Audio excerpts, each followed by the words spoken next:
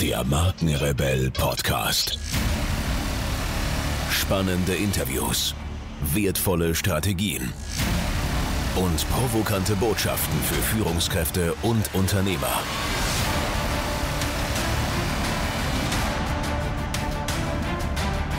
Stell dich den Herausforderungen der Digitalisierung und setze als Marke ein Zeichen. Von und mit Markenrebell Norman Glaser. Der Zauber des Sofort. Schon seit Urzeiten ist es der Traum beinahe aller Menschen gewesen. Die gebratenen Tauben mögen doch bitte direkt in ihre weit geöffneten Münder fliegen. Heute endlich ist es erreicht. Wir bekommen alles, was wir wollen. Sofort. Zwar kommen keine Tauben geflogen, aber ansonsten geht fast alles in Jetztzeit. Oder doch nicht? Doch, vor allem das für den Menschen Wichtigste. Kommunikation, und das kann gar nicht oft genug wiederholt werden, ist das menschliche Bedürfnis schlechthin.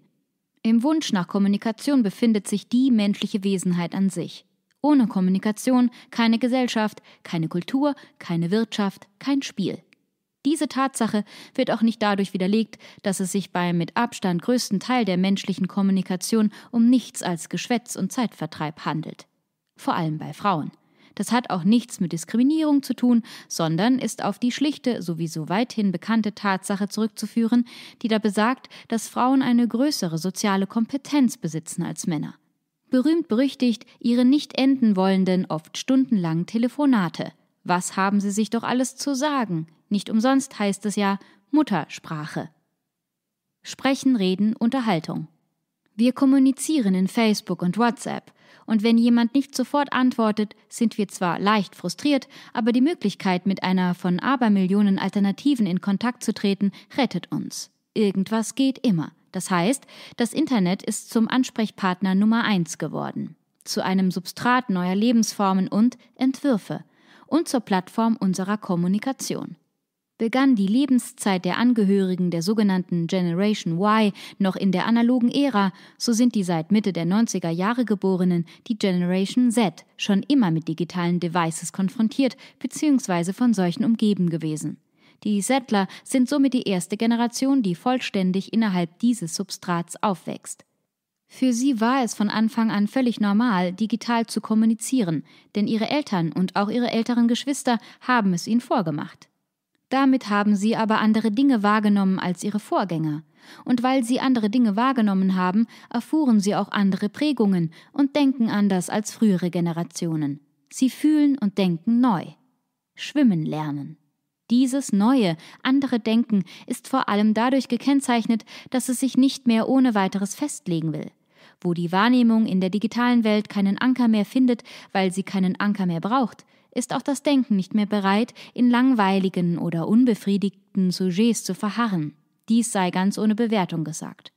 Denn man kann geneigt sein, das Anstrengende als unbefriedigend und frustrierend zu interpretieren. Deshalb stellt sich der Generation Y und Z aber die Frage, wozu sich noch anstrengen? Das Paradoxe und wiederum unbefriedigende, ja frustrierende dabei, Wer nicht bereit ist, sich im flüssigen, flüssiges Denken sowohl fördernden als auch erfordernden Substrat anzustrengen, wird spätestens dann scheitern, wenn es um den immer härter werdenden Wettbewerb von Ich-Kompetenzen geht. Wer sich als Heranwachsender daran gewöhnt hat, immer alles gleich zu bekommen, der wird wenig Lust verspüren, sich mal so richtig anzustrengen. Im ungünstigsten Fall müsste er sogar mit künstlicher Intelligenz konkurrieren. Ein nicht unwahrscheinliches Szenario, wenn man bedenkt, dass in Zukunft menschliche Mindpower immer mehr von Computern ersetzt werden wird. Wer da bestehen und Erfolg haben will, muss schon was auf der Pfanne, sprich in der Birne haben. Der muss wissen, wer er ist. Der muss sich selbstbewusst in Szene setzen und positionieren, ohne dabei plump, narzisstisch oder sonst wie dämlich zu wirken. Die neue Konkurrenz schläft nie. Die Realisierung anthropomorpher, also menschenähnlicher künstlicher Intelligenz, befindet sich schon in greifbarer Nähe. Immer ausgefeiltere Algorithmen sowie schnellere und mobilere Hardware ermöglichen Computern menschgerechtes, menschkompatibles und auch menschenähnliches Verhalten. Ein Problem der Superintelligenz, um das wir Menschen sie beneiden, sie ist um ein Millionenfaches schneller und effizienter, was auch daran liegt, dass sich digitale Datenübertragungen in Lichtgeschwindigkeit vollziehen. Und damit mehr als eine Million Mal so schnell sind wie die Informationsübertragungen unserer neuralen und synaptischen Hardware. Und obwohl sie umso viel langsamer sind, verbrauchen die synaptischen Spikes in unseren Hirnen über eine Million Mal mehr Wärme als thermodynamisch notwendig. What a waste of energy, könnte man da klagen. Die lichtschnelle künstliche Superintelligenz wird allein von Kommunikationsverzögerungen, zum Beispiel durch Relays und Server abgebremst also durch quantenphysikalische Barrieren für die Geschwindigkeit von Zustandsübergängen sowie durch den Rauminhalt, der benötigt wird, um ein solches System zu beherbergen. Bekanntlich brauchen aber digitale Gehirne immer weniger Raum. An die ständig zunehmende Leistungsfähigkeit digitaler Devices kommt längst kein Mensch mehr heran, aber nur, wenn es um rein mathematisch logische Operationen geht. Man kann ja das Emotionale am Menschen als Nachteil betrachten, Ausschalten lässt es sich nun einmal nicht, und das ist auch gut so. Und zwar nicht nur der lauschigen Romantik wegen, sondern auch aus Gründen, die mit unserer Instinktsphäre zu tun haben, sowie mit der lebensnotwendigen Verschränkung von Körper und Geist. Dennoch wirkt sich das Fühlen als Barriere der logischen Intelligenz aus. Unser Verständnis beispielsweise für komplexere physikalische Phänomene ist durch die Potenziale limitiert, die über unsere in Raum-Zeit basierten Kategorien denkende Registratur nicht hinausgehen. Unser Denken ist immer von Emotion kontaminiert. High Noon. Künstliche Intelligenz hingegen ist kristallklar. Ein besonders schönes Beispiel, Betonung auf Spiel, für die menschliche Chancenlosigkeit gegen künstliche Intelligenz zu bestehen, ist Schach. High Noon war der 11. März 1996. Damals stieg der für unschlagbar gehaltene russische Weltmeister Gary Kasparov gegen den IBM-Computer Deep Blue in den Ring.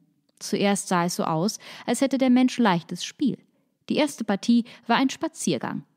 Kasparov genügten wenige Kombinationen und Deep Blue lag am Boden. Doch wie von seinen Programmierern geplant, stand Deep Blue wieder auf. Zwar verlor die Maschine auch die folgenden vier Partien, zu seinem Ungemach tat sich der Weltmeister aber von Spiel zu Spiel schwerer. Als sich Kasparow beim Stand von 5 zu 0 schon als Sieger wähnte, begann das lernende, immer besser werdende Computerprogramm das Match umzudrehen. Sämtliche weiteren Partien gingen an die Blue. Am Ende schickte das Gerät den Weltmeister mit 6 zu 5 auf die Bretter. Wäre es ein Boxfight gewesen, hätte Kasparow weit mehr als nur ein tiefblaues Auge davongetragen. Längst treten Computerprogramme um die Schachkrone gegeneinander an, während Menschen ihre Wettbewerbe lieber unter ihresgleichen austragen. Zu aussichtslos wäre der Kampf. Die höchste für die Kampfkraft im Schachspiel bei einem Menschen jemals gemessene ELO-Zahl nannte der 1990 geborene norwegische Champion Magnus Carlsen sein eigen. Seine 2882 ELO-Punkte nehmen sich gegen die 3543 ELO-Punkte des derzeit führenden Schachcomputers Stockfish geradezu mickrig aus. Der aufgrund seiner paranoiden Spinnereien für besonders genial gehaltene Amerikaner Bobby Fischer läuft mit 2785 Punkten und auf Platz 18 liegend schon fast unter ferner Liefen. Er ist ein Paradebeispiel für die Blockade des intellektuellen Potenzials durch die zu schweren Defekten neigende menschliche Psyche. Sein Mangel an Widerstandskraft wurde auch dem Exilrussen Kortschnoi bei seinen epochalen Auseinandersetzungen mit dem Stoiker Anatolij Karpov zum Verhängnis. Kortschnoi war durch nichts davon abzubringen, dass im Zuschauerraum Agenten platziert waren, die seine Kunst durch Hypnose zu stören versuchten, auch wenn es sie nicht gab. Sie hatten Erfolg. Kortschneu verlor. Solches kann einer Maschine nicht widerfahren. Es sei denn, man knipst sie aus. Dann ist der Zauber natürlich vorbei. Sofort.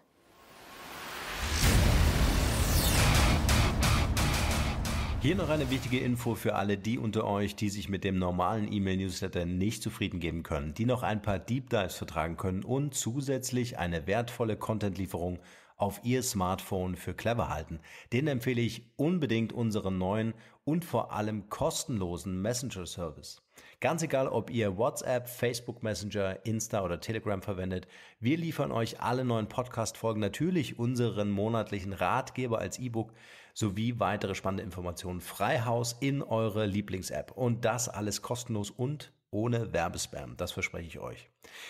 Geht dafür einfach auf unsere Website www.markenrebell.de und klickt im Menü oben auf den Punkt Service. Probiert es einfach mal aus. Es ist kinderleicht und seid gespannt, was hier in den kommenden Wochen so alles abgeht. Wenn euch dieser Podcast gefallen hat, wären wir euch sehr verbunden, wenn ihr euch kurz Zeit nehmen könntet und uns eine Bewertung bei iTunes da lasst. Das dauert nur wenige Sekunden und ihr helft damit, dass auch andere diese Informationen erreichen und wir diesen Podcast für euch noch viel, viel besser machen können. That's it. Alle Informationen wie immer in den Shownotes. Nur das Beste für euch und bleibt rebellisch. Bis bald. Ciao.